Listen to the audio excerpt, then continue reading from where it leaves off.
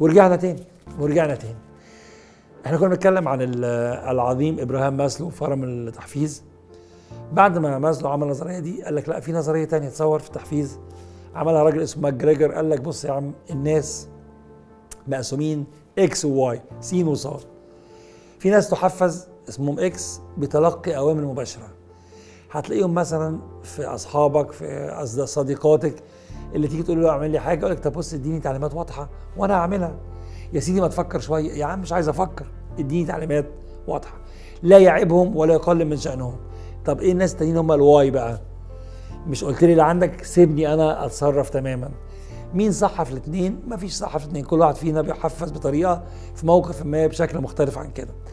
وهو حد فيكم يزعل من شاب أو شابة صغير جدا اللي هو في نظرنا عديم الخبرة لكن نوعه Y. عايز ياخد المهمة ويروح يعملها من نفسه. هنديله شوية توجيهات طبعا شوية رعاية عشان يعملها بشكل مظبوط. واوعى تزعل من حد كبير قوي في الوظيفة أو في السن اللي المفروض يكون معتمد على نفسه تماما بس هو من نوع ال X هو عايز تعليمات واضحة ومباشرة. جه بعد كده راجل لطيف قوي اسمه آه، فريدريك تايلر عمل نظريه تحفيز المسماة بالتحفيز المادي. وكان شعاره فيها أيام الثورة الصناعية الناس بتحفز بالقبض. هتقبضني؟ هشتغل أكتر. مفيش صح وغلط في كل نظرية من دول لكن أنا بقول لكم ليه الكلام ده. مش كل واحد يعرف هو بيحفز إزاي. بصوا معايا في اللحظة دي لأن نمط التحفيز قد يختلف من لحظة إلى الثانية تايلور قال إيه؟ قال إديني فلوس هشتغل أكتر. وكانت موجودة أيام الثورة الصناعية زي ما قلت وكانت العمال بيشتغلوا أكتر شوية فبيقبضوا أكتر.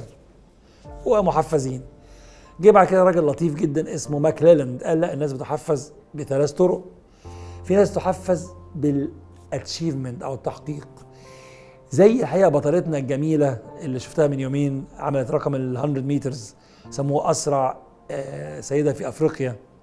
أعتقد اسمها بسنت حميدة لو أنا متذكر اسم صح. آه، لما الناس بتجري في السبق وبتوع السباحة ال coach بيقول لها إيه؟ أو بيقول له يلا هتكسر الرقم يلا دوس. فاللي بيحفزهم هنا مش المكسب ولا الميدالية قد هو تحقيق الهدف. في موظف يحفزه قوي إنه قفل ال target بتاعه إنه قفل الشغل اللي عليه. فده نوع من أنواع التحفيز بالتحقيق الأهداف. جه ماكليلاند قال لأ في كمان نوع تاني اسمه التحفيز بالقوة. إيه بقى بالقوة أو ال power ده؟ الناس بتحب المناصب الزعامة.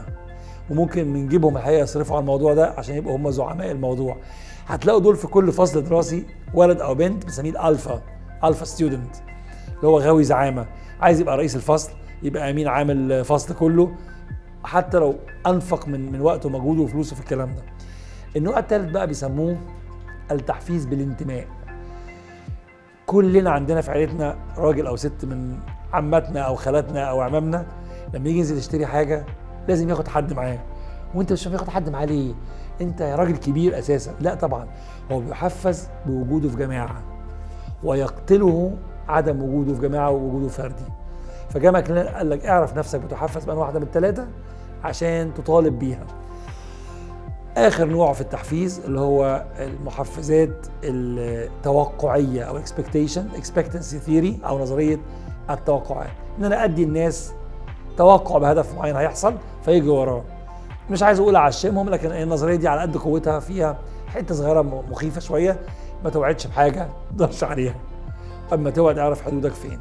ليه أنا قلت لكم حاجة التحفيز دي وليه علاقتها بالنجاح لو عرفت أنت وأنت بتحفز بأنه نظرية في أنه وقت في أنه مهمة وتطلبها من مديرك أو زمايلك يحفزوك بيها أو تحفز نفسك بيها هتنجح تماما.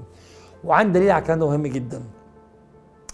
لو جبت شخص بسيط جدا فمحتاج فلوس وجيت قلت له هخليك تعمل شغلانة مش عايز أقول مهينة بس شغلانة صعبة عليه قوي وخطر وهديك فيها ملايين الجنيهات. قد يقول لك لا. الله إزاي لا؟ مش أنت بتحفز بالفلوس؟ لا الشخص ده في المرحلة دي بيحفز بشكل تاني. جايز عنده ولاد خايف عليهم. جايز عايز يبقى في مركز قوي. يعني كل واحد فينا بيحفز بنظرية ما في وقت ما بشكل ما.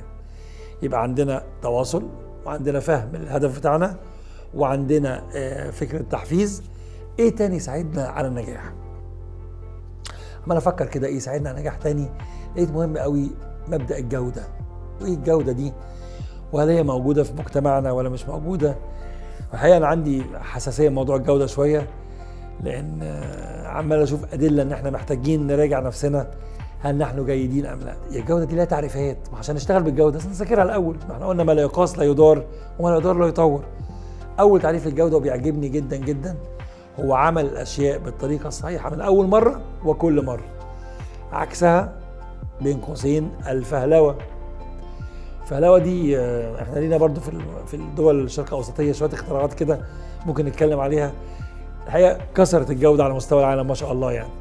لكن أول تعريف للجودة تعمل حاجة صح من أول مرة وكل مرة. الحقيقة برضو رغم قوة هذا التعريف في كلمة مش مفهومة ومش مقاسه الصحيحة.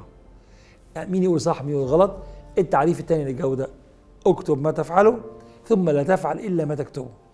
عايز تعمل ساندويتش تعرف طريقة عمل الساندوتش مدخلاتك إيه؟ عيش جبنة زيتون سكينة. أول خطوة قطع العيش. تاني خطوة ضع الزيتون. وهكذا وأنت ماشي. ونقاط قياس الجودة في النص أنت ماشي مظبوط ولا لأ؟ يبقى الطريقة الصحيحة اللي هي إيه؟ زي الكتاب بالظبط أساسا. أهم تعريف للجودة بقى اللي أنا مش لاقي وواجعني جدا لو جاز لي أستخدم مصطلح ال- العامي يعني هو الجودة بيقول إن هي إيه؟ التطابق التام بنسبة 100% بين ما أقدمه لعميلي وبين رغبات عميلي المتفق عليها مسبقا. يعني أنا مدي آه، صديق ليا ميعاد الساعة 9 يبقى مطلوب مني أكون عند صديقي الساعة 9 مش 9 ونص. ولا حقيقة 8 ونص. تصوروا. اللي اتفقنا عليه هو اللي نعمله. حد يقول الله طب ما الجودة العالية كويسة؟ أقول لك لا الجودة العالية وحشة. لأنك رفعت سقف التوقعات ومش هتعرف تعمله تاني. يبقى الثلاث تعريفات للجودة دول مهمين جدا. طب هل إحنا عندنا في مجتمعاتنا ناس لا تطبق الجودة؟ للأسف الإجابة آه. للأسف الإجابة آه.